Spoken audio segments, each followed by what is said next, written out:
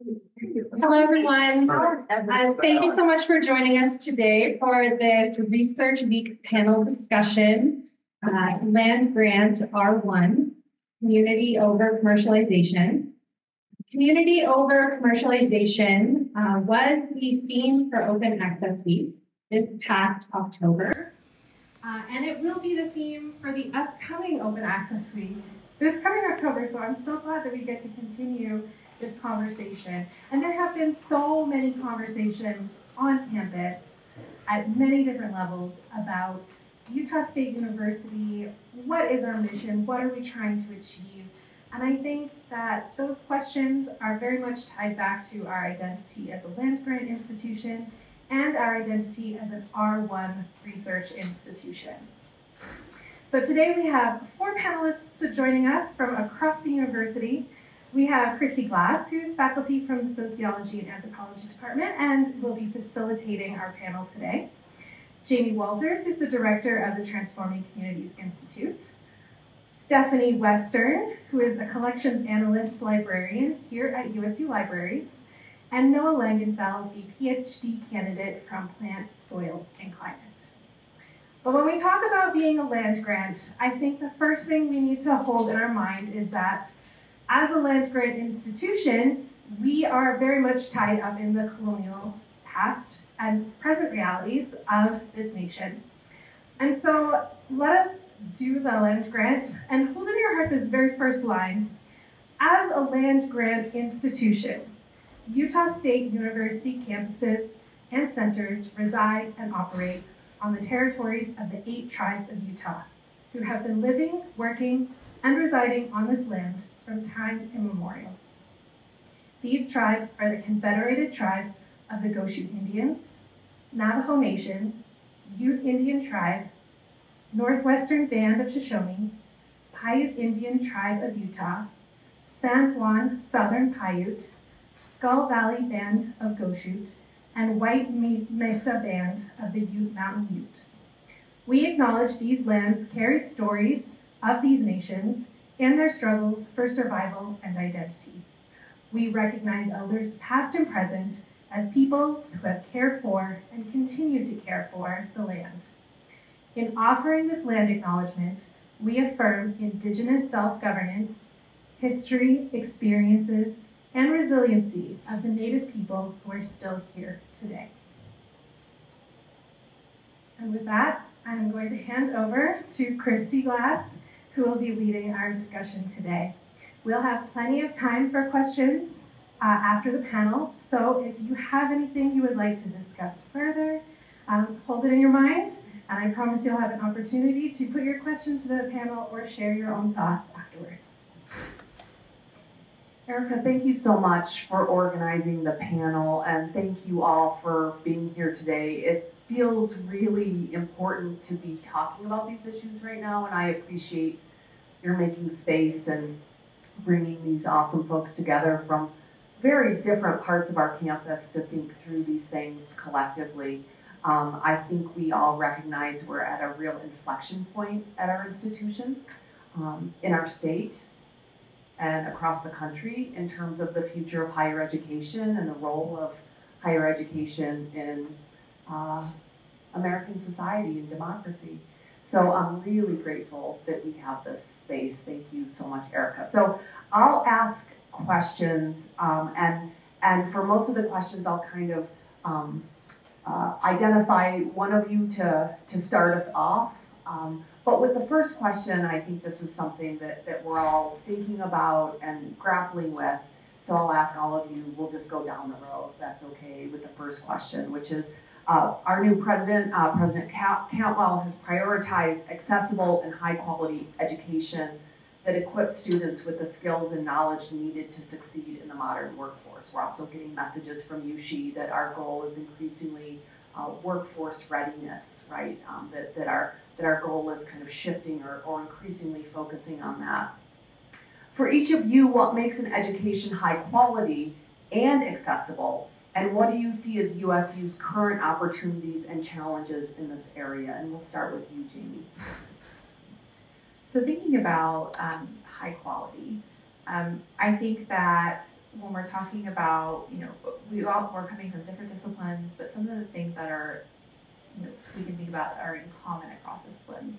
Um, the idea of infusing um, critical thinking into all of our classes, ensuring that students have those um, opportunities to think about um, really the, the issues that they're studying and challenging them to, to think about the different aspects of what they're studying and how it connects back to um, historical aspects, to current day issues, um, making sure that, that we're infusing all those things within the, the, the things that we're teaching.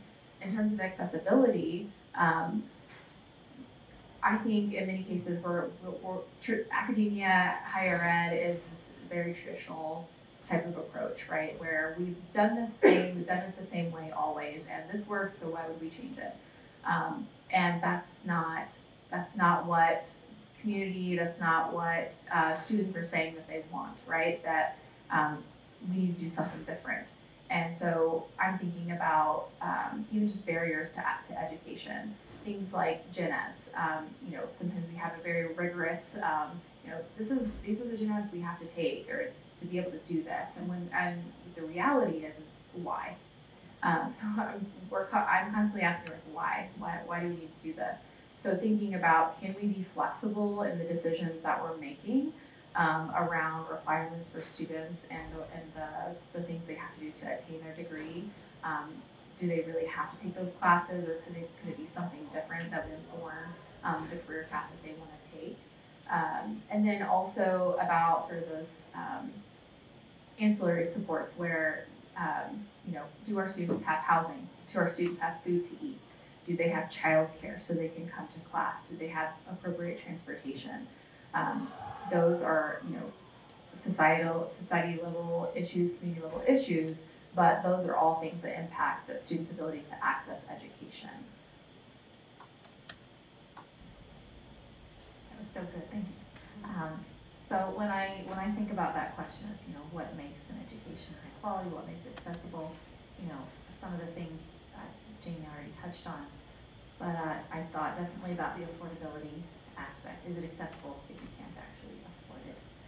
And then we know our students are experiencing food insecurity. A, a secret and it's not new. Um, you know, I also thought about the idea of, you know, is it physically accessible? Can they get into the spaces? Do they have access to the infrastructure and the technology that they need to actually access these learning materials? Um, another thing I thought about, uh, and this is probably just from my perspective with the library and being focused on the collections, um, are we able to provide the quality of resources, learning resources that students need to do their work and to do their learning and to do their research? And not only that, but are we part of the educational process of teaching them how to interact and engage with information, especially when that landscape changes so quickly and as new tools, you know, come come about. Uh, the last thing I thought about with accessibility is um, we're a statewide university. How often is our instruction culturally relevant, culturally sensitive?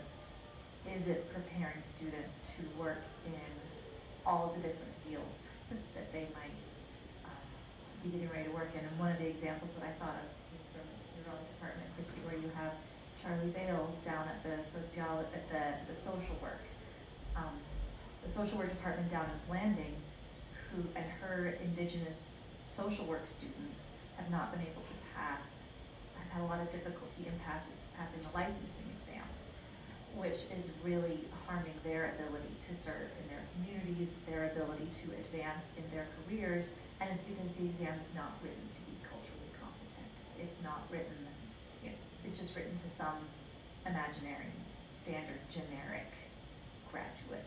And so she's doing excellent work, and the library is trying to support her in that and actually preparing her specific students. And, you know, as principles of universal design tell us, she may be writing it for one specific set of students, but then there are students from all over the world with all of their own unique challenges saying, oh my gosh, can I use this too? This will help me. My challenges are not the same, but I am struggling as well. This could help me. So, those are my initial thoughts. good thoughts so far. I'm going to kind of share my perspective, um, I guess, as a current student. So, as I mentioned, um, I'm a current graduate student. I haven't taken classes for a couple semesters, um, but I've many classes in my time, both as an undergrad and as a graduate. Um, and currently, I actually teach a class um, in the Plant Soils and Climate Department on hydroponics. Um, it's my third semester teaching that class. Um, I was collaborating with my major professor, and we identified a need in our department, an interest um, in hydroponics, and he kind of gave me the reins and said, "Hey, teach this class." So I went for it. Um, and three semesters in, I, I've learned a lot about not necessarily only how to teach, but more or less what students want to be taught. Um, the type of quality of education they're kind of seeking when they come to university. Um, I'm sure you can remember even when you were younger, your, your favorite types of classes were ones where you either got to go on field trips or see see things in the real world or really get hands-on um, experience. And we see that time and time again with our students. Um, we even teach some classes down at our research greenhouses specifically so our students are able to have um, those hands-on experiences. We get feedback in course surveys um, that they want to actually be working with plants, um, not just learning about plants, they want to be um, seeing these systems um, in the real world, not just learning about them. in the real world. Um, and I appreciate that, that too. Some of my favorite classes, um, things that I've done at university, were hands-on learning experiences. Um, now, as an instructor myself, I realize that that is a, a very large workload for instructors to be able to put on that, that high quality of things. I'm creating laboratory exercises and creating hands-on things, even just in lecture. Um, is, is a lot of work. There's, there's no doubt about that. Um, but to see um, the, the epiphanies from the students when they're um, learning about those things, to be able to work hands-on, it really kind of um, helps them learn in a different way, right? Everyone learns at different rates and different learning styles, and not everyone can just sit in a lecture for five hours a day and um, absorb information. Some people can, and that's great. A lot of students can. Um, so switching it up, having um, types of hybrid classes, um, in person, some online, being able to kind of show that we can take these opportunities beyond the classroom is something that's really we- we found is really helpful to our students in our our college in particular.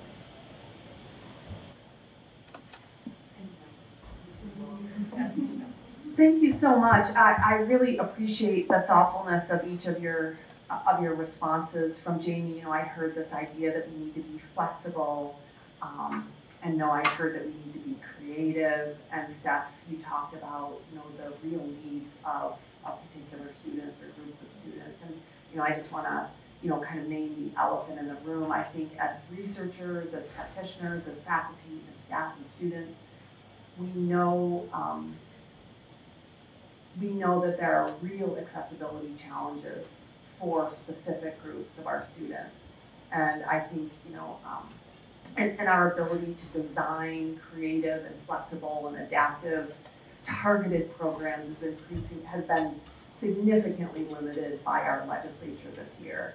Um, and I know that troubles me deeply and profoundly and troubles many of us very deeply. And, and you know, the, the one thing that gives me hope is that um, this will require us to be solidaristic and collaborative and creative in thinking about, in, in kind of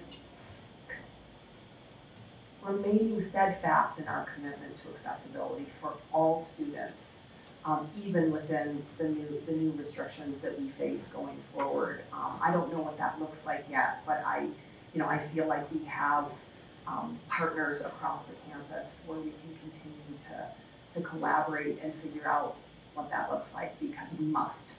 We must. Our, I, I, I would even argue that, that it's an existential issue for our institution, for our institution to continue to contribute in meaningful ways. We must find ways to support um, the students who have historically not found um, our institution a welcoming and, and inclusive place. Um, so thank you. So the next question uh, concerns the tensions between um, research excellence and our land grant mission. Uh, as many of you know, USU became a Carnegie One research institution in 2022. Um, the prior year in 2021, USU received um, over $368 million in grants. Um, in 2022, we received over $390 million in grants. But the question is, how can USU balance the pursuit of research excellence, which we are committed to, uh, um, at particularly the increasingly profit-driven commercialization of research with the mission of the land grant? And, and actually, um, Noah, I'd like to start with you uh, on this question. You can pass this, this microphone. Um, you've worked on governmental and private grant projects. Um, I, I, and I'd love to hear, and I know from the nature of your work, um, you are also committed to the land grant mission and serving, um, serving the state and, and contributing to the state in meaningful ways. How do you see this tension and, and how do you see uh, a potential resolution of the tension? Yeah, this is a really good question. I guess the, the first couple days that I actually started uh, my graduate career here at USU, um, so I'm originally from Wisconsin. I did my undergrad there, but never really. I mean, I did some undergraduate research project, but never was really kind of involved um, on grants and funding agencies at a larger level. Um, and I asked my major professor, I'm like, "Hey, is it okay if I like take a picture of what I'm doing and like send it to my parents because they're curious?" I'm like, I didn't know. I'm like, I'm working. Um, we, so we work with um, USDA um, and NASA in particular in our lab, so both um, federal agencies. Um, and he's like, oh yeah, of course, absolutely. Um, we're, we're not doing any secretive things here. Uh, it's we're a public land grant institution. He literally used those exact words. We're a public land grant institution. It's, it's our duty. We are bound by the legislature to share the information here that we find. Now, I realize that's not the case necessarily with every um, part here on campus. Um, we have a lot of DOE projects here um, in our space dynamics laboratory in particular. Um, they're not necessarily able to freely share their research um, all the time. Um, but, but for a, a lot of a lot of people, we just want to get the information out there. That's what kind of the public sees the university as. They see it as a body of knowledge, and we're trying to help the state and help the country, kind of kind of in a larger larger aspect. Um, so our mission, in particularly in our lab and um, our department um, in particular, um, is that we want to get that information out there.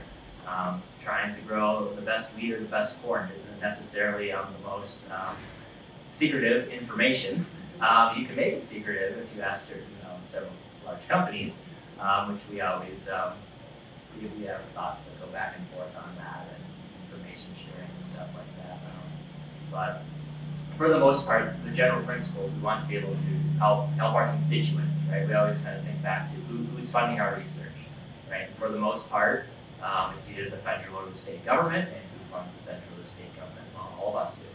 Um, so we want to be able to have those deliverables um, for our constituents, um, whether that um, means uh, presenting at conferences, whether that means giving talks um, in local community events, um, or giving open houses, or allowing tours into our facilities. Um, at our research greenhouses, we probably give at least one tour a week to all different kinds of groups, um, whether that's elementary school kids, uh, whether that's FFA groups, whether that's interested students um, here at USU. Um, so we're happy to share what we're working on. Um, we also have um, portions of our research that are privately funded, um, not necessarily through federal grants.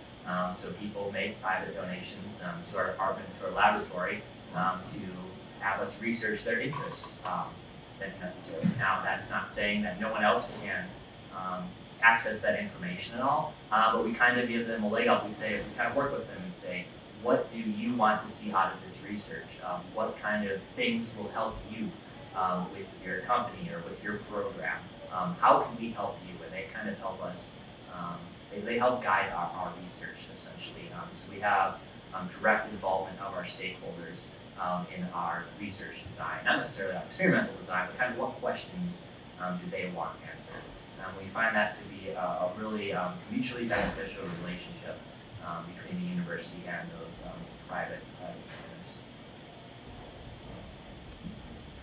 Yeah, and, and, and Jayme, you both have research expertise in nonprofit organizations, um, and, and you have done, uh, uh, lots of funded work and project, projects, and you have extensive community engagement experience, um, in service of the land grant mission. How, how do you see this tension? A lot of thoughts. Um, this is something I feel like I talk about every day. Um, one of the things I think that we have to keep in mind when we're doing the work that we do, I, I don't think it matters what discipline that we're in, is that ensuring that we're meeting the needs of the communities that we're in.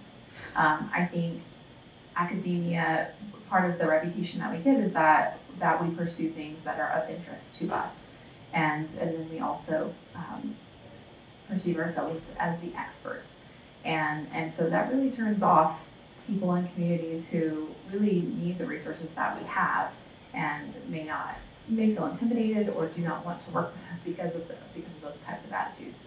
Um, so as we're thinking about our research agendas, um, does this really meet the needs of, of communities that we're in? Um, going back to the land grant mission that we have, um, is this really is this really a need?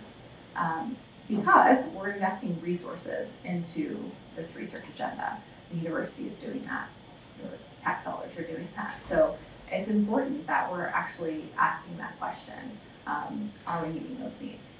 Um, some other thoughts that I had, um, you know, I, I, as a social scientist in social work, um, nonprofit research is, is where my main line of research is, but doing a lot of social issue type of work, LGBTQ issues, DV issues, homelessness, housing. Um, that research is not profitable. It doesn't make money. Um, I struggle to bring in funding for that type of work. I've been lucky that um, I'm in the College of Humanities and Social Sciences. The, our college has invested in the Transforming Communities Institute and the work that I do so that we can serve the needs of the communities around the state. But it doesn't make money. So thinking about that, knowing that we get millions and millions of dollars invested into university through other avenues, funding um, these amazing projects that are incredibly innovative and uh, just incredible uh, to, to hear about and that most of the time I don't understand. Um, but uh, that's amazing, but can we then filter resources to things, to these um, needs that maybe don't make as much money? Um, can we reallocate resources so that so we, so we can do this meaningful work that's connected to the land grant mission? Um, and then the, I think the other piece of this that's it's interesting that's been coming up for us in the past couple of months really is um, inviting social scientists to tables where they haven't usually been invited. Um, so, you know, in more of the physical sciences realm, um, I sometimes use, sometimes I hear the phrase hard science, hard science. Um, I try to stay away from that, but just really thinking about making space for social scientists at, at, at the table for this kind of work. Um, I just met this morning and, and actually yesterday with um, folks in Uinta Basin at the Bingham Research Center to talk about how we can plug in um, as social scientists in their um, work with an EPA grant. And um, they talked about you know the need to involve the community in the work that they're doing around um, you know air pollution and um, energy work, um, you know implementing you know things like septic tanks in very in rural communities. Thinking about the impact of uh, the energy, energy industry on health and well-being, um, and and they talk about you know we have the technical expertise, we don't have the expertise in community engagement or working directly with you know people. so we need you for that. And so I'm so thankful that they um, have, have reached out to us and, and want to make that partnership. And I think more of that has to happen. And but we also have to have the resources, right? Um, I me, along with other people who are doing this kind of work, can't um, work on 30 projects with no funding. Um, we have to be able to pay our students. We have to be able to, you know, um, if we need to buy other courses, if we, or if we need to hire other researchers to participate, we have to have resources to be able to do that. So those are just some of my thoughts. So please uh, uh, talk to us about your perspective from where you sit in USU libraries. Sure, happy to. Uh, so again, this is a different a different tact. I think it relates. Um, I feel like in some ways the R1 designation has been a bit of a double-edged sword. I mean, you know, here you have Space Dynamics bringing in what two thirds of of that money, but now we have this R1, this this crown, this halo, and I think it it increases expectations for the university. I, I feel like it increases expectations for um, what the library should be able to provide to researchers, to students, and kind of like you said, it's not like people are, are coming to us and saying, you seem like you don't have enough money. Would you like more of the money? Yeah, they don't. Um, what happens instead is that we have flat budgets. This year, we aren't even going to get um, the normal assistance that we would get to help with uh, journal inflation. So, you know, the publishers, they're making their money, they're doing just fine. And they're raising costs all the time. So, we are in this position of having to say, well, we don't have the same kind of budget that other R1 institutions have. We can't provide the same level of resources. If anything, we need to cut resources because we can't keep up with the rising costs. And then we have to make decisions that make people really upset. And they think, well, I'm in an R1 institution. You should have this, but you has this. Why don't you have this? But yeah, shocker, we're not uh, the same as the U. Um, so one opportunity that I do see there would be is uh, if USU is able to continue to invest in open. So invest in open access, in open educational resources, in uh, reminding people of their, their right to deposit their research in USU's institutional repository to make it, um, you know, open and available to you know, people outside the USU community. So that, you know, these projects that are being funded with, you know, grants from wherever can um, be shared with the communities who would benefit from them. So those are my thoughts. Thank you so much. I, uh, uh, even more than the first question, what a diversity of kind of perspectives about what this looks like at USU. Um, I'm really appreciative of, of Jayme, you're acknowledging the critical importance of so much of the research that we do that is not profitable. Um, and, and Steph, the double-edged sword of the R1 designation, I feel that certainly in my discipline where, um, you know, so much of the uh, foundational work in my discipline, so much of the critical work in my discipline um, is simply not commercializable, right? Uh, or, or, or competitive for large private um, corporate grants. And thank goodness. Thank goodness, right? That's, that's of, of value um, to the institution that we have critical work. Uh, I, I would I would classify my own research as very corporate critical. I actually study corporations from a very critical perspective, and to the extent that I would have to make my research attractive to corporate sponsors, um, would would negate the importance of why I do the work, right? Um, and I think what we're living in is uh, incredible contradiction where public investment in public education has been declining for many decades or you know, many years, multiple decades. Um, and then to fill in the gap, uh, faculty are expected to find ways to commercialize their research, right? To bring in big dollars. And I think that that that misses so much of the rich work that makes a university important and vital in a democracy.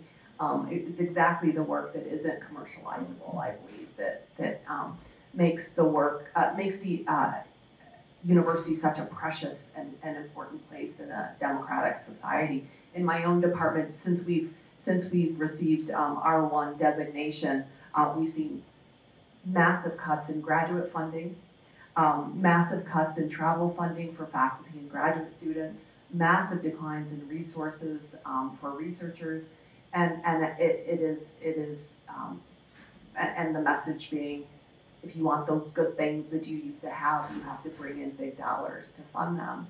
Um, and and for many of our disciplines, I'm thinking of the social sciences and certainly the humanities. That is just not a, a sustainable uh, model that can enrich the institution moving forward. Um, we, we, we we need again the creativity, the collaboration to to rethink um, some of these priorities and, and what it means to be bringing in um, millions of dollars in grant funding and not being able to fund uh, graduate students or research assistants or, or community rich community high impact community engaged work. So thank you um, for your comments. Um, we now turn to community engagement. Um, community engagement, collaboration are recurring themes in our collective discussions about the future of USU. Um, for each of you, what strategies can USU employ to measure, assess, and reward the impact of our community engaged efforts, ensuring that we effectively address societal challenges and promote economic development? And Jayme, I'll I'll toss it to you um, as the director of the Transforming Communities Initiative. What are you doing through TCI, and where are the opportunities to expand our collective community impact? So I think it's important to first acknowledge that what community engagement means, uh, because I, there are a lot of different definitions of, of this. Um, you know, community, if we're doing true community engaged work, the community is a part of every step of our process. And from the time that we start thinking about research or designing a solution, they're there at the table informing that process and they're participating in designing the study or, or collecting data, etc. So um, it's not at, it's not, um, I go into a community and I collect data and therefore I'm doing community engaged work. It doesn't mean that your work isn't valuable, it's, but it's not community engaged and that it's community based. You're doing work about the community. That's great, it's needed, but it's different. So that, I think it's important to make that distinction. Um, the other thing I want to mention that I didn't mention before, but I think it's important to think about again why this is a, why community work is important to the university. You know, of course, grant mission we talk about it all the time, but the community encompasses our students. So when we think about well, you know, we hear sometimes that higher ed it's, it's it's a product or we're selling something now. There's so much competition, and so we have to make sure that the ed, that our what we're offering is attractive to students. Um, yes, and uh, also think about that if we don't address community issues, um, those impact our students too. Um, I mean, I, I as social worker always go back to, to basic needs because you know that's at the bottom of the pyramid, right? Um, if they don't have house a house, they don't have food, they don't have childcare, et cetera, those are all things that impact their ability to access what we do as instructors or other types of things that we do on campus. So I think it's important to realize that we have to do this work because it does impact our students more broadly. Um, and then I think thinking about how we reward faculty to continue to do and, and staff to continue to do this type of work. Um, you know, you mentioned this is not easy, right? Community engaged work takes so much time and energy. Um, it is uh, any kind of teaching is difficult, but whenever you have to think about um, applying concepts to um, something that is real world and then involve partners on a meaningful level and make sure that there's some level of uh, reciprocity, meaning that um, that our partners that we're working with also benefit from the work that we're doing, that it's not um, completely student centered. And, and I'm not saying student centered is a, is a bad thing, it's good, but again, I think if you're community centered, you're also student centered. So I don't think it's either or, it's both. Um, and so that work takes, um, that community engaged approach in a classroom takes so much time and energy. And so, uh, one, resources. Uh, we had a, a, TCI hosted a conference um, in Moab, the uh, Conference for uh, Community Scholarship and Teaching in February, and we had universities from across the state, faculty, staff, students come and, and talk about their community engaged work. And I mean, you just see the passion and um, excitement that they have for the work that they're doing, but also the time and energy that it takes. It's exhausting. And so, um, but I heard other universities talk about, yeah, we give our faculty um, money to develop community engaged courses, and um, we also provide grants so that they can um, either pay their community partners or they, they have money so that they can, you know, do things like do gardens or, um, you know, cre- yeah, create service projects or, or whatever, or um, provide incentives to research participants if it's a, a community research class. And I thought, oh, we should probably be doing that. Um, we need those things. Um, so again, resources. Um, so faculty really need that. And then I think the other piece of this that's faculty specific is um, we like to use this community engaged um, classification as something that is important to the university, and I and I really do believe it is. But um, it's all it's not always clear to those of us who do this work how it's how it's how it's going to look with the tenure and promotion process. And um, and I know that there's conversations happening around that, and I'm so glad to hear that. But um, until it's uh, written and ensured to faculty that um, that my work as a community engaged uh, scholar is looked at the same way as someone else who doesn't do it um, and can produce um, 100 papers before tenure. Um, awesome.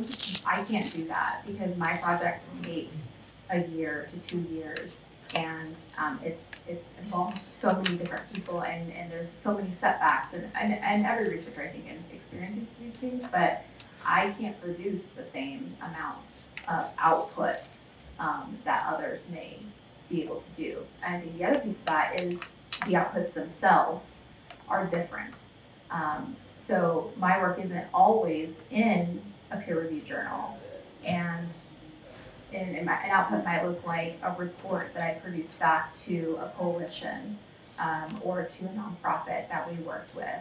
Or it might look like uh, we started a, um, a warming center. You know, it might look like that. Um, how do you measure that um, when you're being evaluated um, on these more traditional things that academia is known for, these peer-reviewed journal articles, national conference presentations? It doesn't always line up. So am I going to be evaluated the same way as someone else who has those other things? And on paper, they they look fantastic, and I and they are fantastic. But like also the work I do is meaningful and impactful too, and good. So what does that look like? I, I want to tag on that. That's so good. Uh, one of the things that I was thinking about as you were talking was that you know if if you were ramming your projects through so quickly and you know getting the articles and getting the things, you would have done such a bad job at at actually doing an effective and respectful engagement work.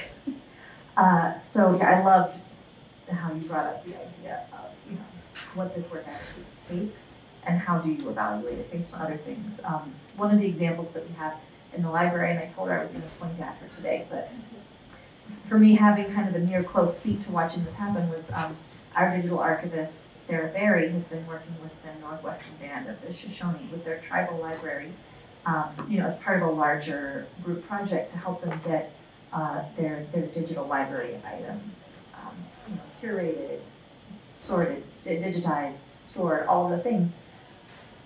But it took you know, over a year, ongoing additional funding to fund her position. Like it takes work to do respectful, responsible, quality community engagement. And it, it also took Sarah, who, as in all things, was a brilliant example of this. Um, she's working with a, a tribal community, with an indigenous community. We are a land grant institution. She had to go in um, from a position of humility and respect and support and being willing to listen and to learn and hear what do they want, how do they want their um, images described, what kind of language and vocabulary is respectful to them, and not just what the Library of Congress and traditional academia says. She's not there to enforce her own archival standards upon another group. She was there to offer support, and it takes care and it takes time, and you can't compare it to others. So Jayme kind of hit on a point that I was thinking about as soon as this question came up. Um, that's kind of how, how, how do we advance necessarily, how do we traditionally advance as academics, right? The traditional mantra is publish or perish, right? When it looks comes up for promotion or tenure, what do they look at? They look at how, how much grant money you brought in, how many articles you've written, how many citations do you have, simple, simple metrics like that. They don't tell the whole story um, of your work. Um, so how do we shift the departmental thinking or the higher level thinking to be able to um, introduce these ideas um, of being collaborative, collaborative um, or engaging and, and make that part of what we really should be focusing on. I wrote a, hundred articles um, since before I was promoted. So what? What was the impact of those articles? How do they actually um, impact my local community? There needs to be, I think, more um, emphasis placed on that um, at, at the higher level. Um, to be able to help us shift away from those, those simple numbers, those simple metrics. Because as she mentioned, right, it's not a difference between someone in chemistry versus someone in sociology. Um, their path to tenure looks very different. Um, so to be able to hold everyone to the same exact standard, it has to be flexible. Um, can't necessarily um, just focus on those those exact numbers.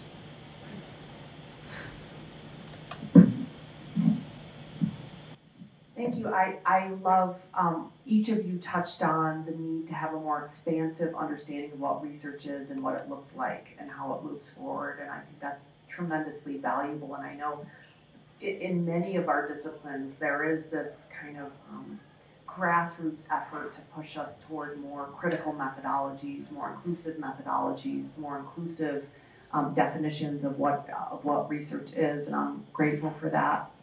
Um, I also want to, I, I, I want to note that the tension between promoting economic development in the state and addressing pressing social problems for me is kind of a false, a false dichotomy. Um, I, I collaborate uh, really closely with an organization in Utah called the Utah Center for Legal Inclusion, and we're collaborating on a study of the legal profession and why so many um, LGBTQ plus and BIPOC and, and first gen law graduates leave the state to build their careers elsewhere.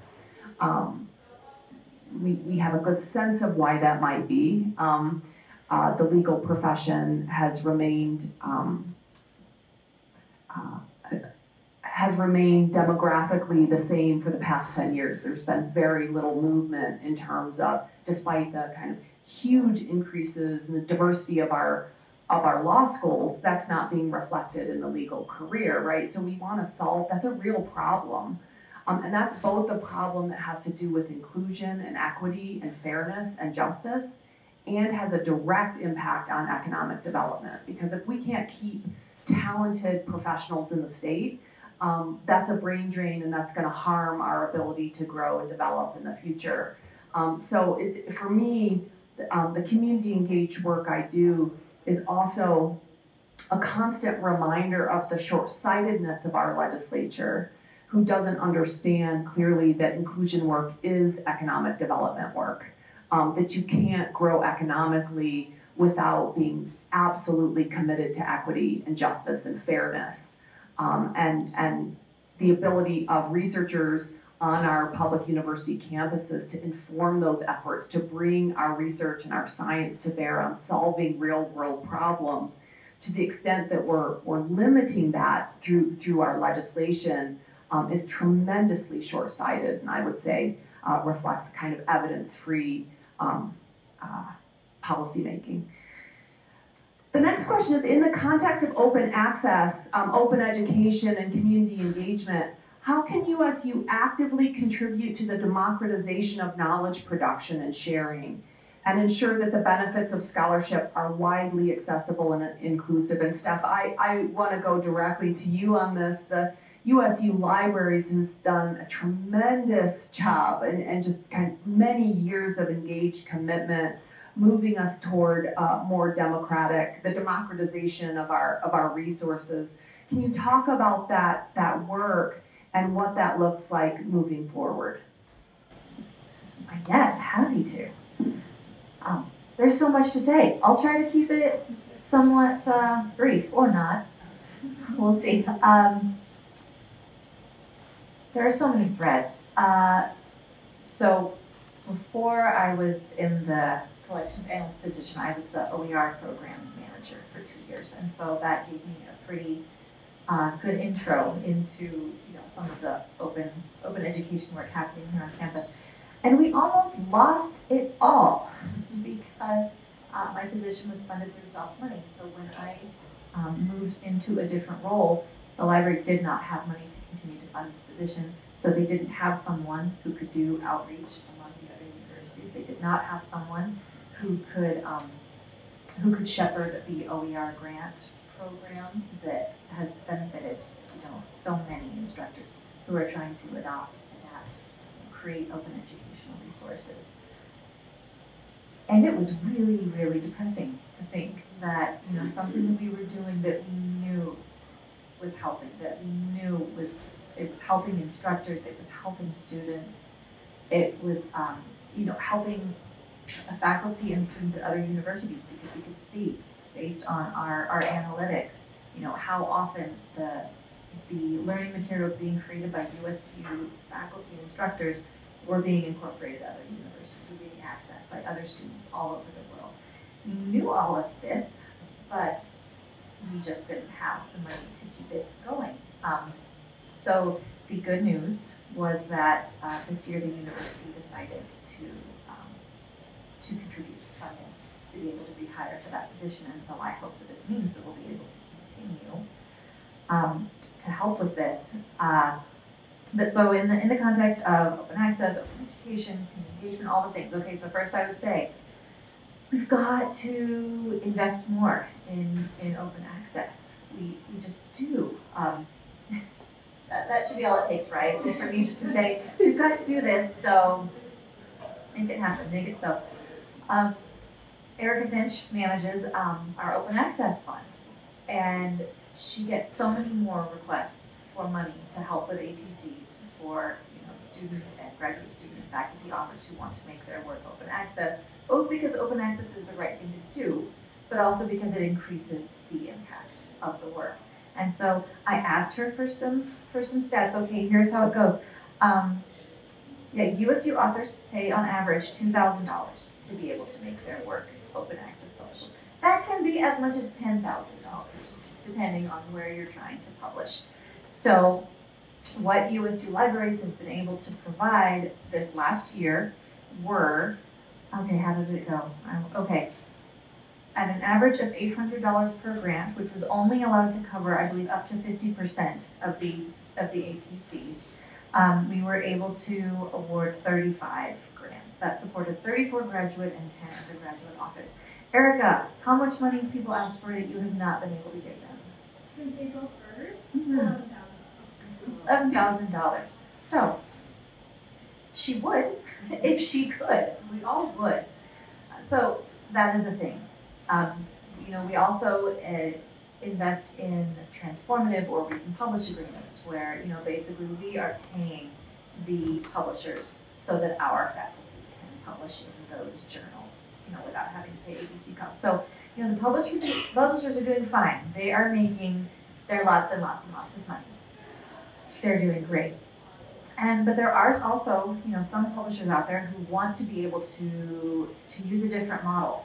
You know, aside from the okay, we have to charge you APCs, or okay, well then we have to charge the university so that their faculty can publish open access in here. And so that's one of the things that I really like to look into. Maybe that is going to be the way forward. Is that we can, you know, try to collaborate on some different publishing models that might help with this.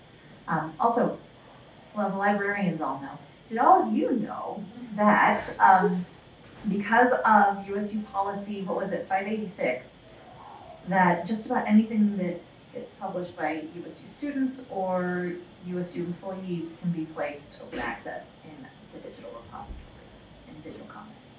Yeah, okay, see, everyone knows. We need to make sure everyone knows and is doing it. Students, grad students, faculty, everyone, do it. We can do this. Um, I had a couple of thoughts. What were they? Oh yeah, just continue to invest in OER. But this also kind of goes back to what other people are saying.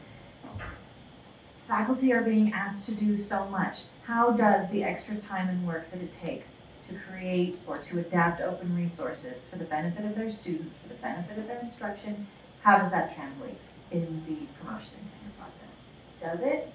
If the most that they can get is some help from the library and maybe a fifteen hundred dollar grant,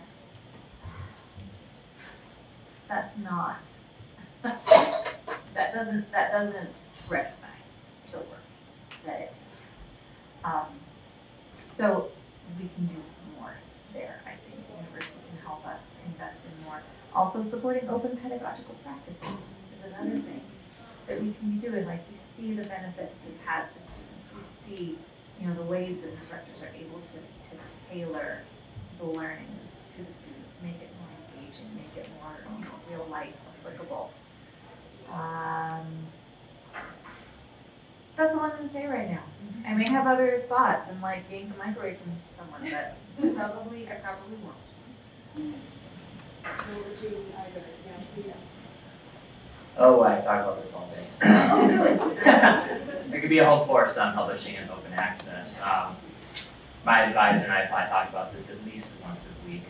Um, with Becky in multiple of our discussions.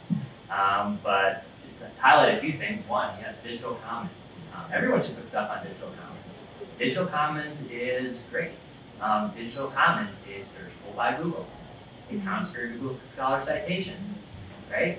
Um, and most of all, it's free. It's, it's free. It's, we're not paying these, um, yeah, that two, some, according to two thousand dollar average, I'd say that's pretty accurate.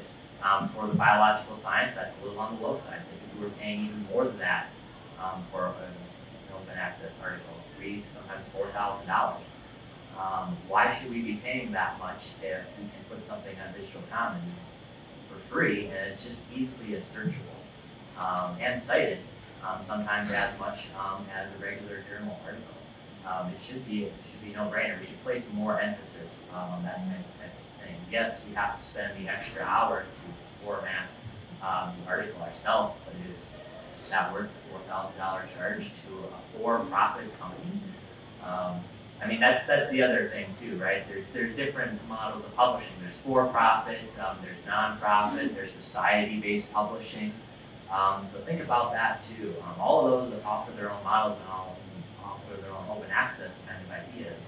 Um, but where necessarily do you want to put your research dollars? Do you want to put for-profit publishing, or do you want to put them back into maybe a society that's closely related to what you're working on?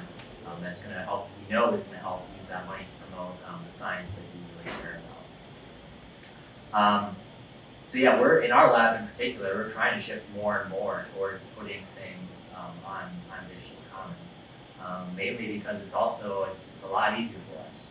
Um, what's what's the drawback here? We don't go through the same type of peer review process necessarily. Sure, we can do like a college review process um, stuff on digital commons, um, but so if someone asks me, or someone, I've never heard anyone think that, uh, oh, the digital commons, that's not peer reviewed, I don't trust that. No, I've never heard that from anyone. Um, they say, oh, it's on digital commons, I can get this right now for free, sweet, send me the link. Um, there's, different people value that peer review process differently. Yeah, no doubt about it, the peer review process um, is beneficial and helpful. Um, but is it worth it for us paying multiple thousands of dollars for profit companies to say, even think that was And then what is what's the public perception of that?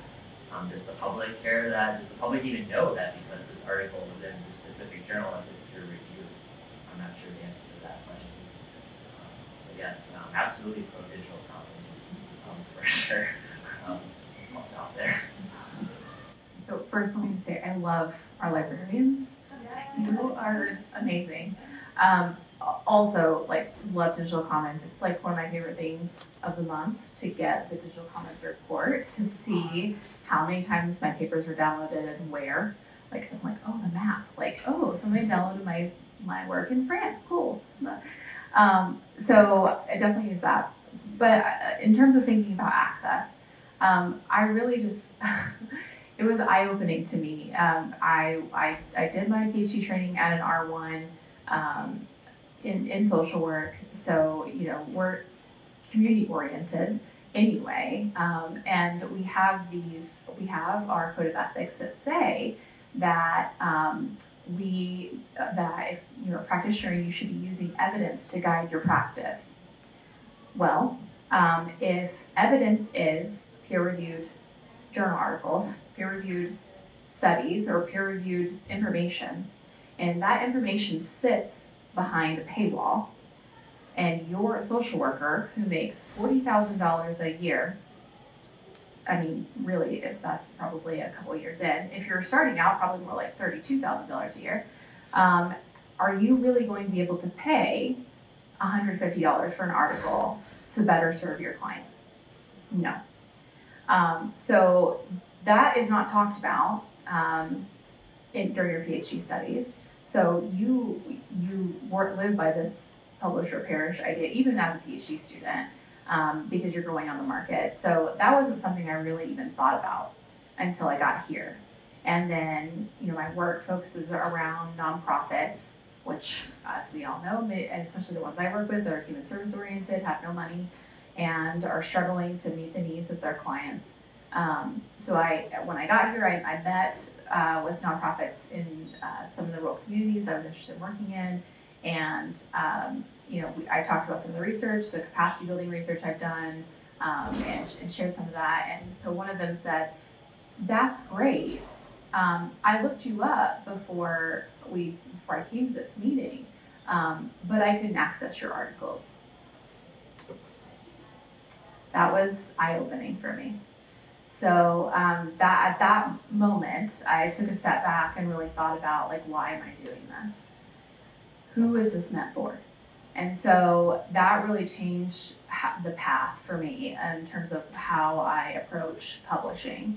Um, so uh, Rachel Wishkoski, who's not here anymore uh, in the library, uh, she was our librarian for social work, and I met with her to talk about what journals exist that are open access that don't have APCs because I don't have any money. I'm I'm brand new. Um, I'm an assistant professor. I don't have any money. Um, and APCs are you know two to four thousand dollars. Um, and and for my work, there was like two, two journals, which by the way aren't high impact.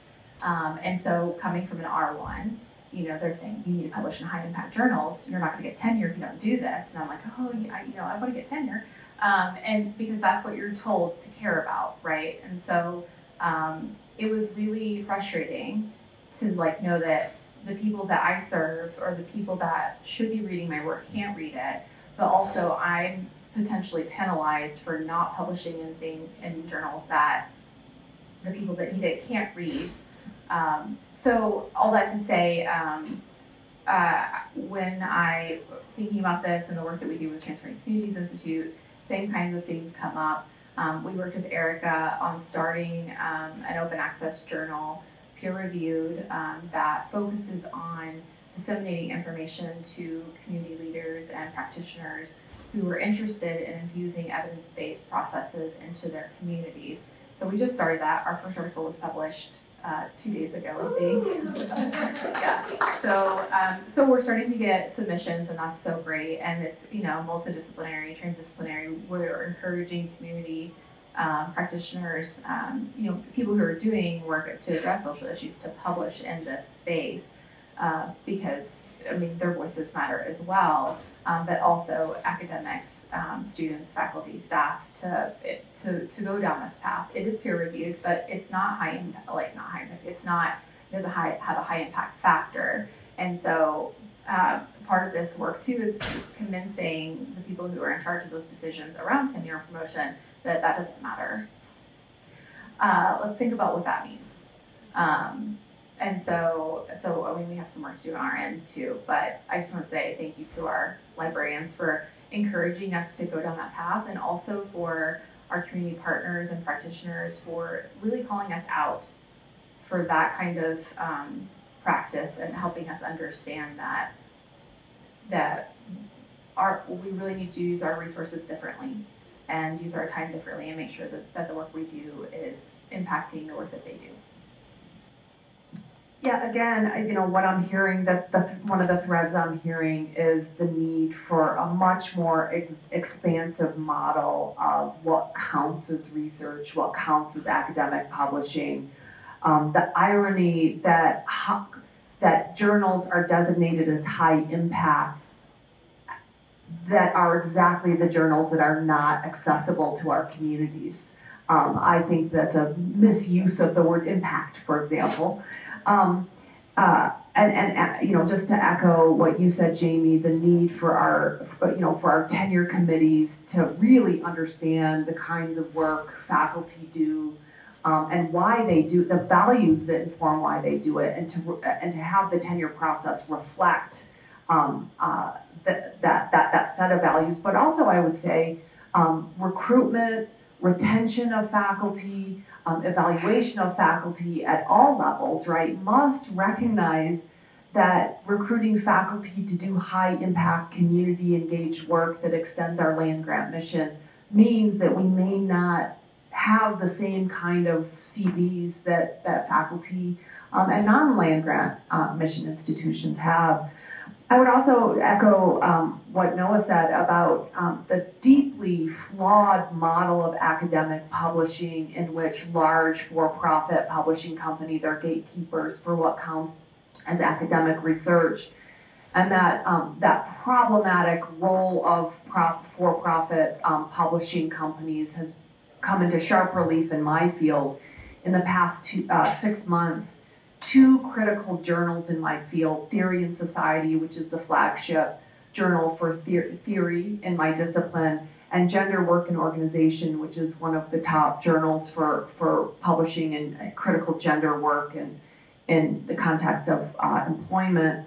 Um, the publishing companies fired the editors and um, disbanded the entire edit- academic editorial staff and replaced the editorship with hand-picked folks um, because they want the articles um, clearly um, they want to, to dampen the critical nature of the work that's published in those journals. So it's not just the cost, it's not just the gatekeeping, it is also uh, increasingly, at least, at least in, in my field, increasingly a form of academic censorship um, and, and moving beyond uh, for profit publishing companies is vital in order to continue to do democrat, uh, uh, in order to do um, critical research. Um, I, I, expect these two are kind of harbingers of more to come, and this is a, a you know really a, a, scary moment in higher education academic research when publishing companies are gatekeeping not just um, the costs and and and et cetera, but are actually determining um, who that editorial board will be, who can decide what counts as academic work and what counts as publishable work. Um, this is, uh, again, reflecting larger political trends at the state and national level, and, and something that we should all be very clear is not serving the values of higher education or democracy. Um, final question from us, and then we'll open it up um, to, to the audience. Uh, President Cantwell's conception of the modern land grant mission places a strong emphasis on ethical leadership, civic duty, and community service. How can USU ensure that graduates are not only academically prepared to enter the workforce, but also ready to contribute to the betterment of society? Um, how can we ensure our students are ready to enter the workforce, but also are committed to lead positive social change in our communities? And Noah, um, I'll, I'll start with you here. Your, your really important work on sustainability and also your volunteer work in the area of food access. Um, you seem kind of the, the ideal uh, student, right, where you're doing really cutting edge research in, in the area of sustainability and you're contributing to the campus community in really important ways. Can you, can you respond to this? Yeah, absolutely. Um, I think the key word here really for this question, at least in my view, um, is involvement. Um, we constantly see as graduate students that we should be hunkering around our desk writing or doing our research or doing literature research and everything, and that's good to a certain extent, but that shouldn't be the five or six years of our tenure here at Utah State University or any university for that matter. Um, we should go out and get involved um, in our greater campus community and in our greater local community um, to see how our um, research or how our studies are actually involved in the community or how they're making an impact. Um, and that really kind of helps, kind of helps, um, I think, broaden our idea and broaden our appreciation um, for knowledge um, and our studies as a whole. Um, so as you mentioned, I volunteer at SNAC, Student Nutrition Access Center. so my real passion is trying to help grow and produce healthy, sustainable foods for local communities. Um, so that's great from a research perspective, but I kind of wanted to see um, a link or another side of that and kind of see um, how we can help um, promote and provide um, nutritional, nutritional and accessible meals um, to our local campus community here, our faculty, our staff, and our students. so I took that initiative upon myself to become involved with the organization here on campus and really enjoyed it and not only does it give me a break from my studies, um, but it gives me a chance to kind of see a, a broader um, perspective um, of the campus community, what the campus community really looks like, and what kind of my stakeholders or my constituents look like, where my work is actually going to make a difference. Um, and I can help kind of tie that back um, and have some ideas and how I might direct my own research and what's actually what's valuable. Sure, maybe a basic science question is valuable to a certain extent, but maybe there's this broader societal idea um, that may be a bigger impact coming out of my research. Um, so I think there needs to be a, a bigger emphasis placed on that. Um, undergraduate students, but particularly graduate students. Um, I think there's a lot, the university itself does a, a lot of great work trying to involve undergraduate students. We have a whole office on student involvement here on campus. Um, and that's great. I can't necessarily speak for that. I didn't do my undergrad here. Um, but um, as a graduate student looking at all the undergraduate students, I'm looking, wow, you guys have a lot of fun here. There's a lot of cool things uh, to do. I mean, the day on the quad, for example, our annual student activity um, kind of like fair. Um, that's great. There's so many organizations here on campus to get involved. Um, I don't see too many graduate students like that. They kind of have this stigma, I think, um, that kind of surrounds them, and maybe that has to do with their major advisors um, back, trickling down the line essentially that oh they need to be in the lab, and they need to be studying, and no fun, yada yada, yada. work seven days a week, whatever. Um, I think that we need to kind of try and change that culture that yes, this is a job, but you have to get out, be involved in. You're still a student, right? Um, you need to be involved in your community, um, particularly your campus community, to really uh, get the most out of your education, especially at a land university. I'll just add a little bit to that. Um, when I first read that question, I saw the part that says, "How can we ensure the graduates?" And I thought, "Oh, that's that's a tall order, ensuring." I'm not sure we can do that, especially when uh, gross legislation keeps getting passed. Um, and I think one of the things that I have, okay, so sorry, bring it back. One of the first things that I thought of is that we need to model what we want to see in our students, you know, as, as staff members, as faculty members, as administrators here at Utah State. Um, you know, we can, we can model that by the way, by the way that we engage, by the way that, you know, we see like, okay, what activities does the university hold? Which people do they invite to come speak? Like what, how are we showing our values along, along these lines? Um, and I love hearing, you know, when we have things like service learning opportunities and, you know, kind of more community engagement where students are, I'm not going to say forced, but just where they're given these opportunities, they're given, um, you know, this exposure to see, you know, what more is out there beyond just, yeah, the walls of the classroom or the screen of the classroom. Um, it, it has been discouraging to me when I have seen faculty members who do not model these values. Um, and I think about the disservice that is that they are doing to their students. But then, you know, for every faculty member I see who is that way, I see a whole line of other faculty and staff and instructors who just they they're just yeah full of, of the desire to help students become who they can become and they are willing to do so much to make that happen. So they're the ones who give who give me hope that, you know, eventually some of these others might move on, die out, or whatever needs to happen there. Um, and then uh, just one of the things I think about, you know, from the library perspective is that something I feel we try to do is, um, you know, to address students as the whole person. Um, you know, to try to make sure that there are things here that help them to feel seen.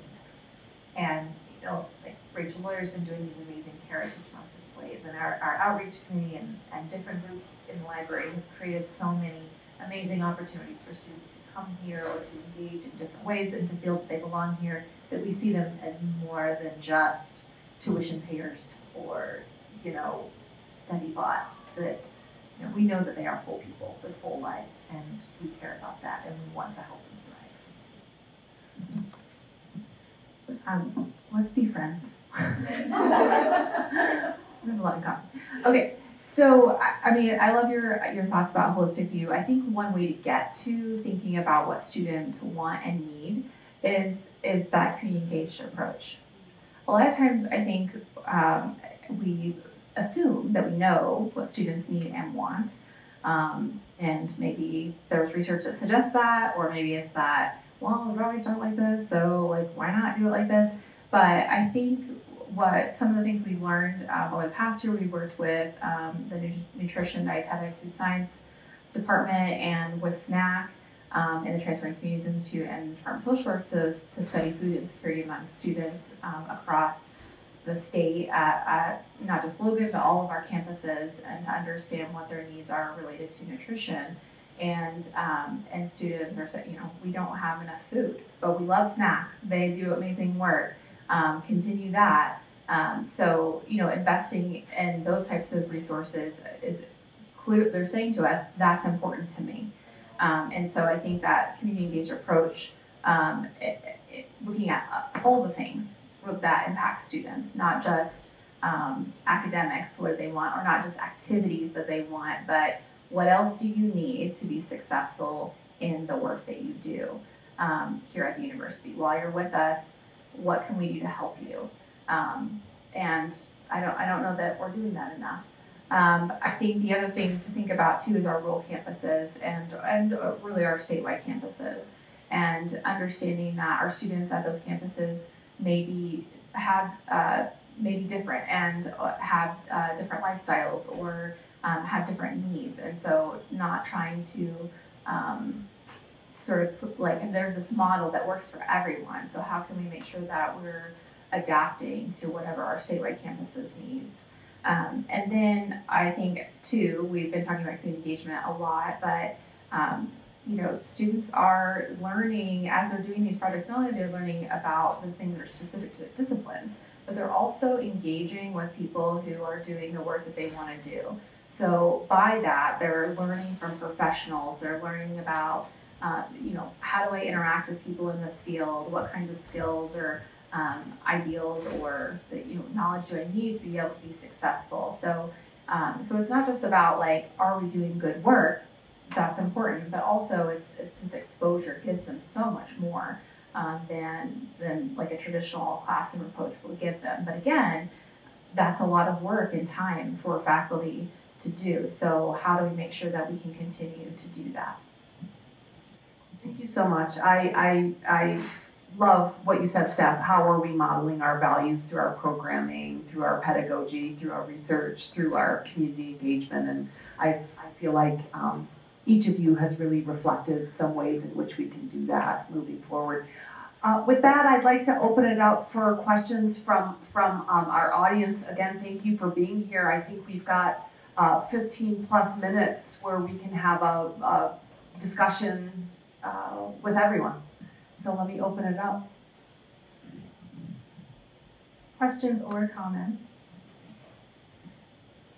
Especially comments.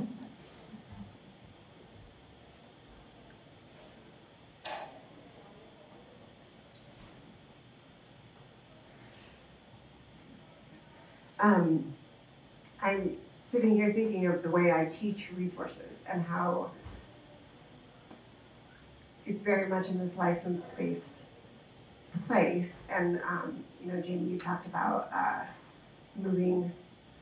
Um, I work with lots of future educators, so they want to do evidence-based practice, and then we put them out in the world, and they don't really know how to get there. And I'm wondering how to capitalize on the availability that USU that they pay for in their fees to them and teach them um, how to be users of research after they're gone. And I find a lot of the barriers are if I just had a course where I could focus on anything I want, this would be a section. Um, do you see openings in your curriculums and how, how can librarians and instructors like me do a better job of finding those places where we can talk more about those things? So I well, I love librarians, so I, I use you all pretty regularly. But I think especially those who um, are teaching research or um, something like that, I think there's an opportunity to um, help guide uh, sort of the assignments or you know the lectures behind how do I digest evidence? How do I digest a scholarly article? Um, because I didn't mention this when I was talking about access. A lot of times these articles are not written um, in a way that is useful to people who are in communities doing, you know, who are teaching, who are doing social work, who are do- whatever. They're not written that way. So, um, working with librarians to help, um, you know, how can we train our students to be able to digest this in a way that's useful to them beyond uh, just reading a 40 page article. Well, they're not going to do that, but how can how can we do that? So I think um, some outreach to faculty would be really helpful um, who do who, who teach those courses. Um, but then also maybe I think sort of the reverse of like going into the community and and so maybe meeting with educators, maybe meeting with people who are nonprofits. Like how do you use research? How would you use research if you had it? Asking those kinds of questions are really important and bringing that back to faculty so that they can incorporate that into their instruction.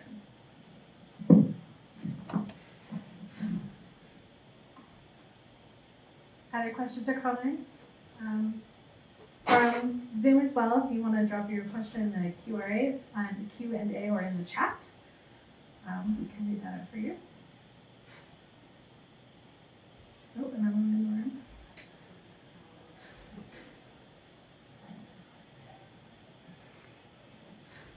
So I'm, I feel like impact was a thread through so much of what you all talked about and how we need about that more broadly. What does that actually mean? And it's not just about dollar signs, um, or a, a number. But Noah, something you said, I think in answer to the very first question, I think you were actually, um, referring to a, a conversation with a funder, um, and asking them, what's the question, what's the research question you want to answer? And so I, I was struck by that. I'm thinking, you know, maybe maybe if we talk more about that, what are the what are the research questions we're trying to answer, and why do they matter? And does that help us get this impact message across? You know, if we're starting, and that's foundational, right? You can't do research if you don't ask the question like, what is the question you're trying to answer? But if how can we lean into that question in different spaces to maybe help ourselves so we don't feel like we're beating our against the all the time on the impact question. I don't know if that if that makes sense or yeah. Anyway.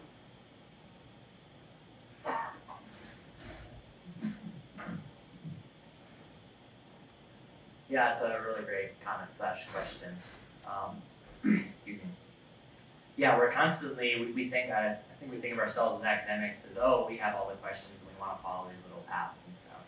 Um, and sure, that's great, those are probably good questions follow. Um, but what does our, our broader audience um, want us to follow? What does the community want us to follow? And I think this comes back to being more community engaged, listening to our community, um, listening to the people in our surrounding area and what do they want help on. Um, the university is here to serve them. Um, so we need to be work on becoming more involved with them and listening to them um, and trying to understand the, the real local issues um, or problems that um, the local community faces. Um, not only does that help us make um, our research more uh, locally centered, um, but that also helps um, get a greater appreciation for the university from the local community. I feel like universities are usually held in pretty high regard, but there's often people that may think that's they're kind of all sitting there on their ivory tower, why they don't even care about us. We need to be able to be involved with them and engage with them, um, and try and help them. Um, um, basically, work together with them to help help use our knowledge um, and use our resources to help get what um, they are, are, seeking, whether that's a question or whether that's a process they're trying to work on. So really being involved with them from the basic standpoint, and then that can help us, I think, kind of tailor our research goals as an R1 institution. Still conducting research to a high quality, um, with the basic idea of where that research stems from, or where those questions stems from, um, I think is really important. Um, you brought up funders, so I think this is uh, relevant to this point too.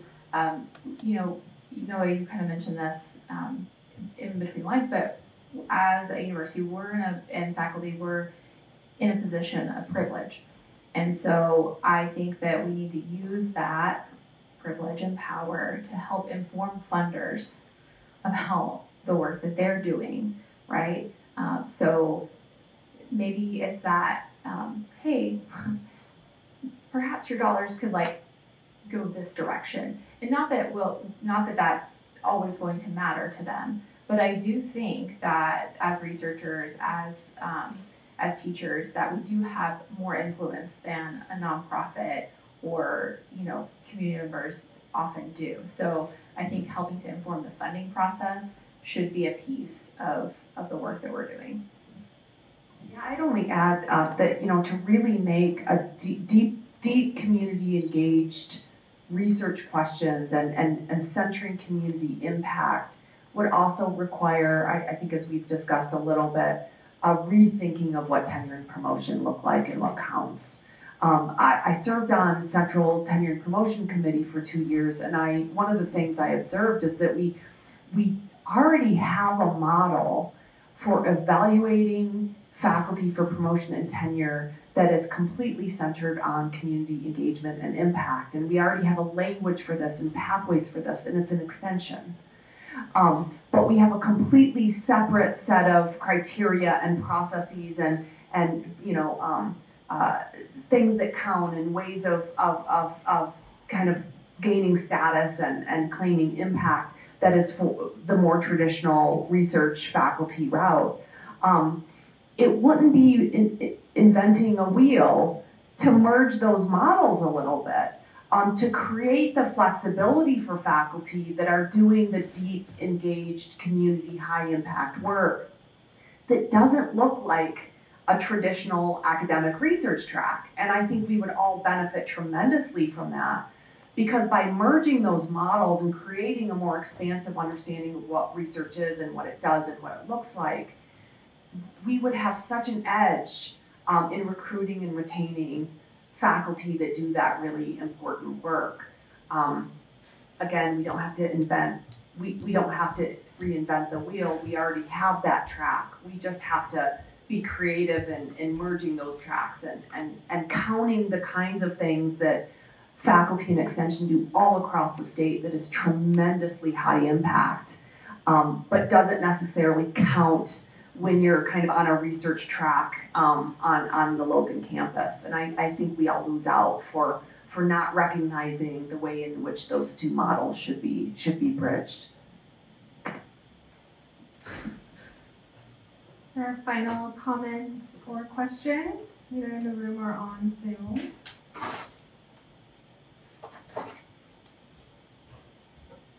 Oh, I see our final question slash comment. More of a comment. Okay, comment.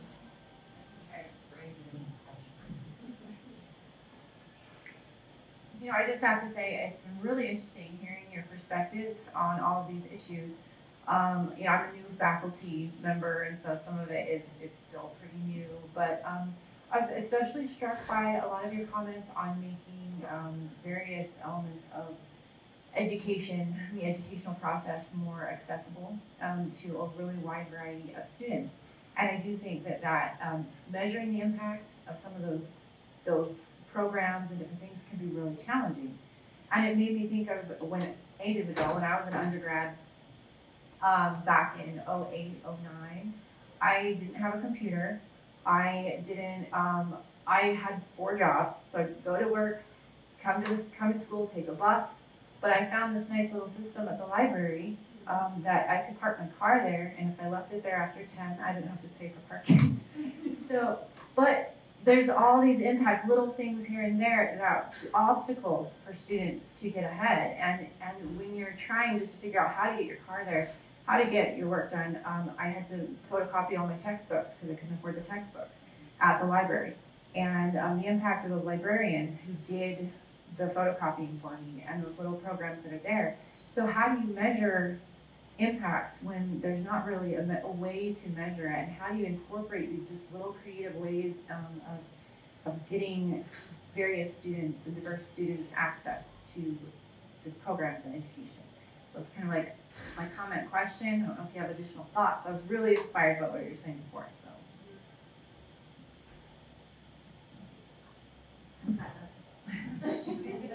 I just feel like you and I need to go have a conversation after because that's just that's so interesting. Um, it, it is hard. I don't have an answer for this. I guess what I will say is that from my own experience, um, when I was working with OER, it was so illuminating to see uh, what we would do during Open Education Week was put up um, a whiteboard and we would ask students, you know, to show us, okay, how much are you spending on your materials? And do you ever not purchase your materials because you can't afford them? And most of them would say, yeah, I don't purchase my materials. Um, and then we would see the kinds of things that they would buy. We'd ask them, what would you buy if you didn't have to worry about paying for textbooks? And it was things like food, gas, all of this. Um, so here's an impact thing for you. We're moving to Aggie Access in the fall. Everybody's up up on that. Do you all know about that? Okay. So there's going to be a um, a one prize program that the campus store is rolling out starting in fall of 2024 for statewide undergraduate students, where all students will automatically be charged $250 for their course materials and and everything including, you know, inclusive access, you know, ebooks or courseware or even uh, print books will just sort of be included in that. And then students will have the option to opt out if that's something that they are able to do. Um, and then, you know, either try to buy their things a la carte or try to go to go alone. Um, I think it's going to be really interesting to see what happens with this because we already know that students don't have $250. A lot of our students don't have $250. Um, to some, this might be a savings, like students who are in the nursing department or the, or the engineering department, but to other students, like in the humanities, they're, they're not going to have it. Um, so, and I'm sorry to sort of so far off of this, but I'm just thinking we're going to have a lot more data coming up soon about, like you said, the little things of how do I actually afford school. Um, and maybe, best case scenario, this will be what helps uh, USU to really invest more in um, you know, the library as a player in providing educational materials. Maybe this will really ramp up the OER program. Maybe this will really ramp up us having the money to purchase, um, you know, unlimited user textbooks, ebooks, so that students can have those. Instructors can choose those things, which could then bring down the cost of that average $250.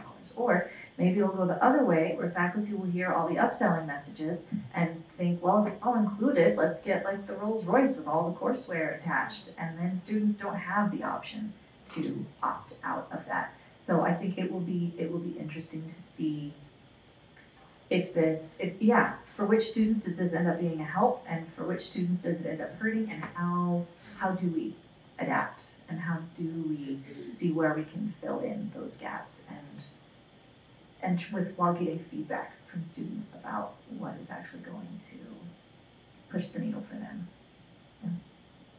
One thing, I know we're at time. Um, ask the students.